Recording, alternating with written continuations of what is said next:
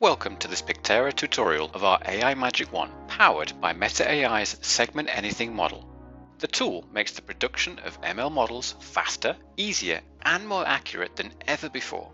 Let me show you how. When creating a detector in Picterra, one of the key steps is annotating the object of interest within training areas. Traditionally, this involves drawing an outline point by point around the object's boundary. In this example, we are annotating water bodies on a mining site. It's crucial that the outlines precisely align with the shape of the objects to ensure accurate detections from the model. However, we understand that this manual annotation process can be time consuming, especially when dealing with objects of irregular shapes. To address this, we've introduced our AI Magic Wand, which significantly speeds up the annotation process. Using the AI Magic Wand is simple. Once launched, just click on the object of interest and the tool will quickly outline its shape. When you're satisfied with the outlined shape, click on the Submit button or simply press Enter. If multiple objects are selected, only the largest will be imported. When you have completed your annotations, click Exit to leave the AI Magic Wand. Another way to utilize this tool is to annotate accuracy areas.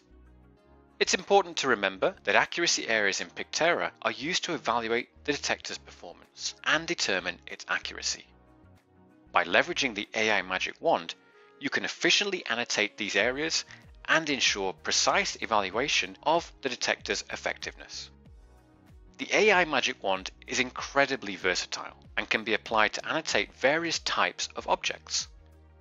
Let's explore another example, where we will use the tool to annotate haul roads within a mining pit. When you click on the road contour in this example, notice how other objects are outlined.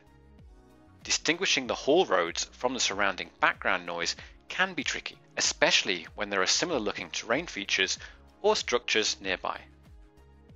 To address this, simply remove unwanted outlines by clicking on Remove from Outline or right-clicking on the relevant place on the map to add a negative point.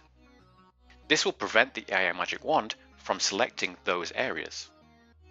By following this process, you can improve the quality of the object's edges and enhance the accuracy of your annotations. And there you have it. The AI Magic Wand in Picterra simplifies and accelerates the annotation process, making it more efficient for your object detection tasks. Thank you for watching this tutorial.